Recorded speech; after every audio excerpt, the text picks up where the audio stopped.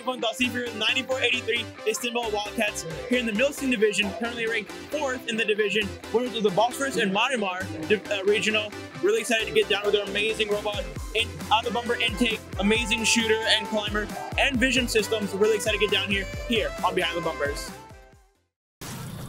Support Fun's content creators when you sign up for a membership on YouTube Join. You'll get access to special perks like emotes, loyalty badges, and Fun members will even get early access to our scheduled videos and more.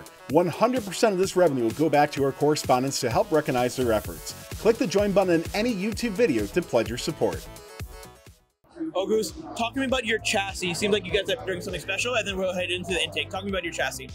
Okay, so we use SDS MK2 inverted chassis in our uh, chassis, and then we have an belly pan. And the reason that we use belly pan that we are trying to center the weight on the onto robot to actually make it as possible as closer to ground to actually not to tip or not to uh, jam any knot into or under the robot. Therefore, we center our electrical electrical board and the PDH on the again on this uh, uh, in the center to actually avoid any fall or avoid any uh, collision while uh, interrupt interrupted by any other robots.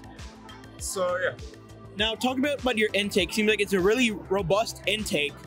Uh, so talk me about that.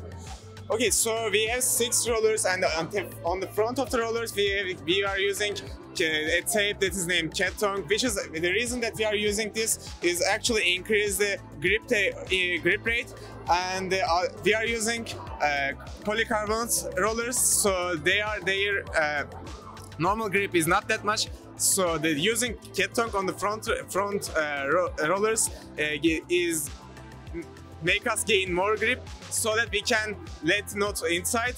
And other rollers are going into a, not a not a direct line but a curved line to actually go to feeder by an easier and go to a feeder by avoiding any jams again. So therefore using polycarbonates makes it even uh, lightweight without any using uh, any heavier material. However, we need to use uh, in the metal aluminum shafts in the rollers to actually uh, avoid them breaking or avoid them any cracking. So, yeah. What about this pivoting system you have for the intake? What is the ratio that you have? Uh, they are they are one to seven. The ratio between them one to seven. So basically, we have them. Uh, we have them like going uh, under the like fast to actually increase the efficiency while our driver is going to, going to, into the road, and therefore uh, we are using the, we are using the increasing the ratio here and here in on the, robot. So yeah. Now, can we see the intake pick up a note?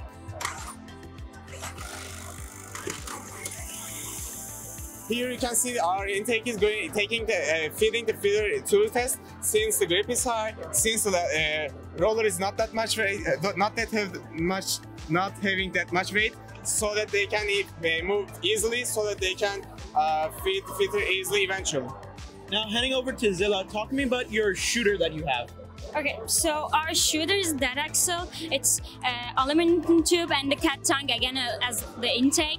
Uh, our shooter is moving, but I can't do it right now. Just moving shooter, we can do. Uh, we can shoot wherever we want in the field. It's just like the middle in the field, uh, wherever we want to the shoot. And is the control is automatically shoot uh, coming from the shooting angle and the shooting speed. So that's all I guess. Now, what is the angle? What are the angles that your shooter is able to go? The highest and the lowest. Uh, the highest is uh, like 65 to shoot, and the, it's like 17 to the down. So you're able to shoot anywhere uh, on, on the field, essentially. To the in the middle field, yeah. yeah. All right. Now let's hand it back to Oguz to talk about your climber that you have. You have hooks over here. Tell me more about it. Yeah. Okay. So we are uh, our strategy to actually uh, that we have in this climb. We are trying to make it as solid as possible. So we are using a ratio system. Uh, the uh, the cons of it actually it's one shot. Like the once you open it, you cannot make it close again. But the pros of it actually, while our driver going to directly into chain, it's only uh, the only thing he needs to do is push push the button, and then our climb is auto working, so the climb will uh, fall uh, suddenly. And uh, since we are using a ratio system, it will close immediately, and we'll be able to hang our robot. So yeah. Now, Zilla, I also want to know about the controls and sensors you have. You talked about there's a you have special controls and stuff like that. Tell me more about that. So as my friend had mentioned, uh, our climb and uh, some other stuff so we is not uh, based on the drivers. We want to make sure that the driver has less uh, work to do. Right. So our climb is automatically, and the amp is coming from automatically. They can uh, he can pause it uh, automatically, and the shooter is also automatically. if we come to the sensors, we have a com sensor in the intake and in the feeder here. Uh, if you want, can we show the amp sensors? If you want to score an amp, uh, we just uh, activate the, uh, it has a button for the amp shooter. Uh, it just act activating the sensors uh, on the intake. You can open it. It just stays over here and the amp is basically work like the outtake of the intake.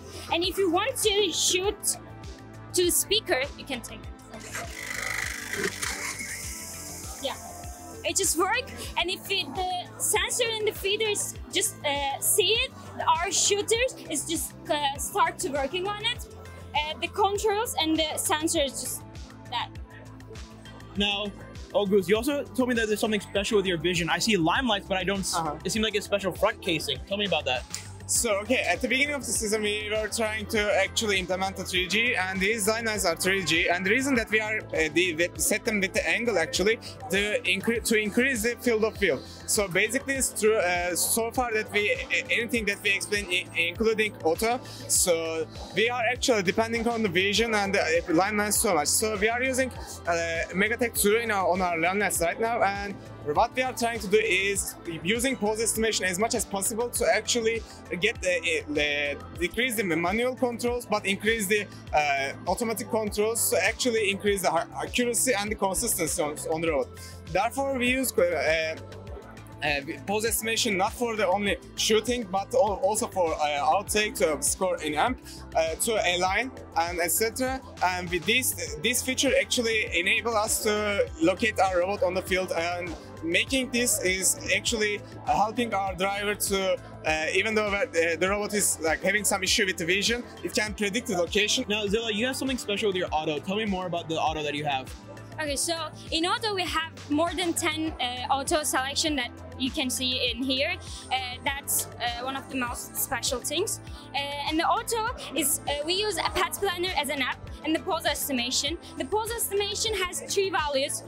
The one is coming from the limelight and the pigeon that we use pigeon 2 and also encoder on the swerve modules. So limelights are saying that uh, when they say AprilTags, they give us uh, as a one value, and the pigeon uh, give us uh, the rotation of the robots in the field. Encoders are calculating it, calculating the distance that they go, and we take the three these three values to make a position in the field. So when you have this uh, position in the field, you can see uh, you can see what where you are in the field, and you can act for it. And also we use pose estimation not just in uh, auto, as and also in the teleop period. That's all, yes. Thank you.